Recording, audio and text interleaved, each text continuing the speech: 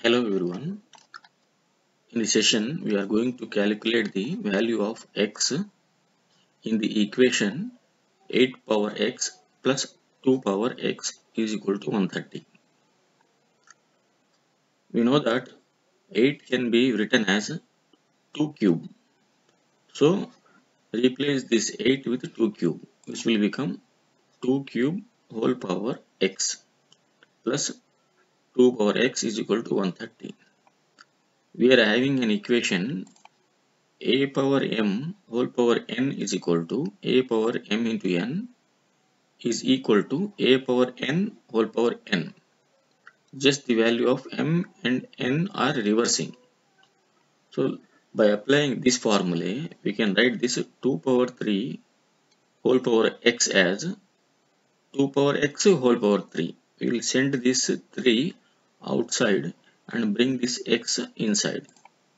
So the equation will become like this 2 power x whole power 3 plus 2 power x minus 130. We have we are bringing this 130 from right side to left side. So it will become minus 30 is equal to 0.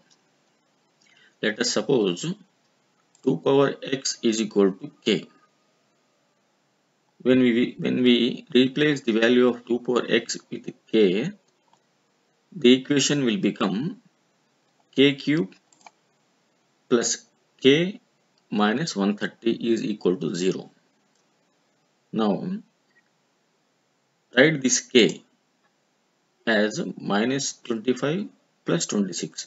25 is plus minus 25 is equal to 1. 1k. Just we are splitting this k as minus 25 plus 21 which is equal to k only. Now, from this k cube minus 25k, take k as common like this. The remaining will be k square minus 25. From this 26k minus 130, take 26 as common. Here the remaining value is k minus 5.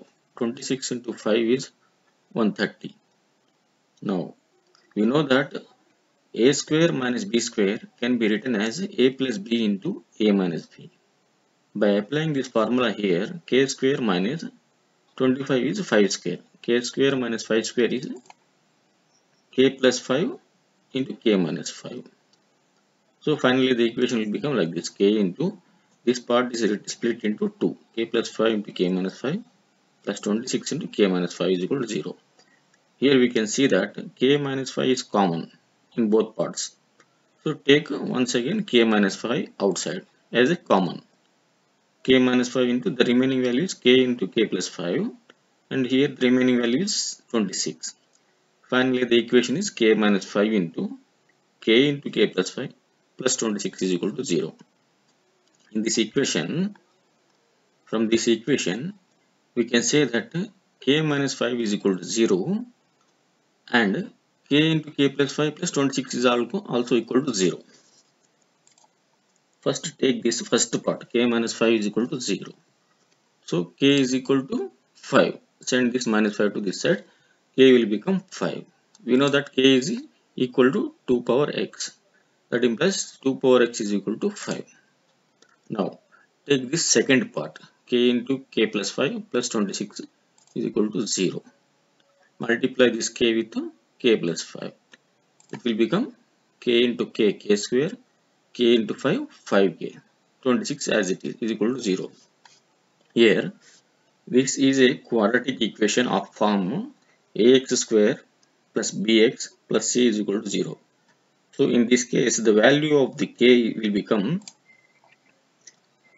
minus b plus or minus b square minus 4ac by 2a this is a formula which we are going to use here. So here a is 1 b is 5 C is 26.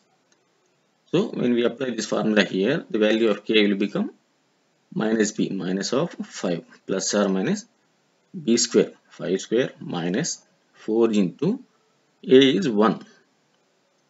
C is constant 26 divided by 2 into 1. A is equal to 1.